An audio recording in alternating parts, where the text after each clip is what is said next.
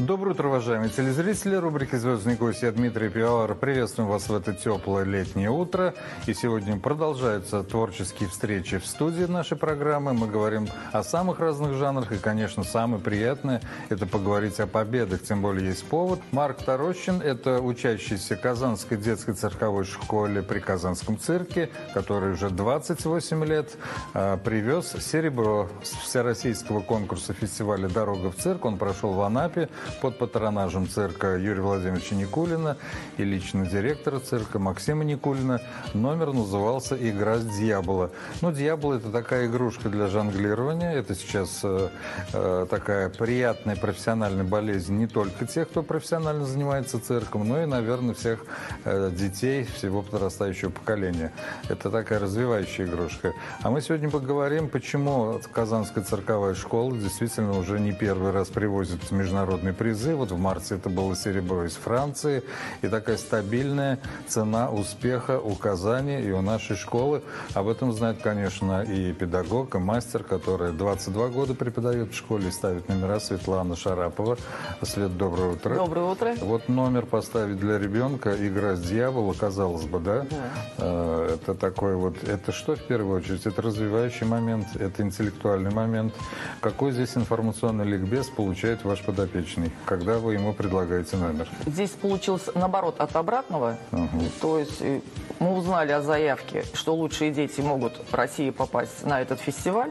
Я стала примерно прикидывать, какие номера туда можно бы послать. Но сложность в том, что мы больше занимаемся воздушными номерами, а это номера на сцене.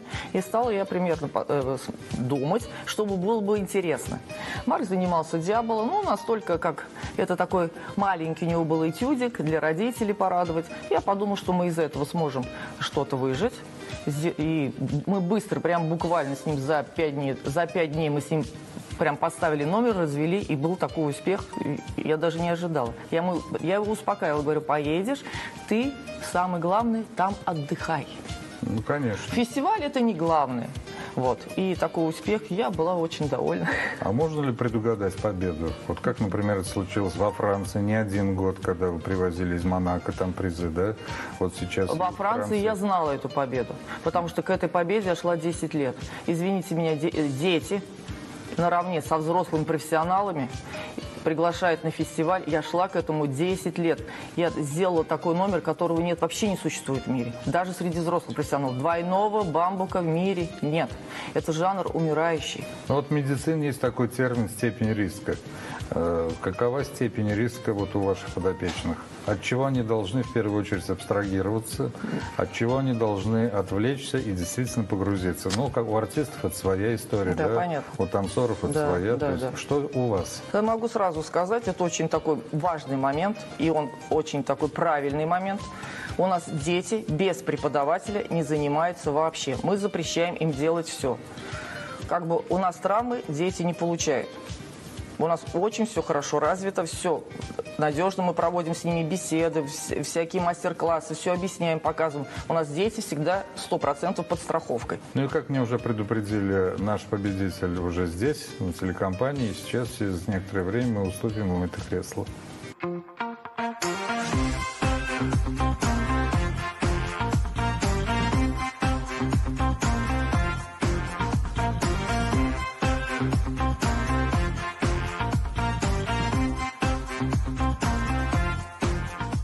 Ну и вот Марк Тарочин у нас уже в студии со своим тем самым предметом, который принес ему э, первый, кстати, награду и первое участие в конкурсе «Дьявола». Ну что такое «Дьявол», мы поговорим чуть позже. Марк, добрый день. Рад тебя видеть и поздравляем.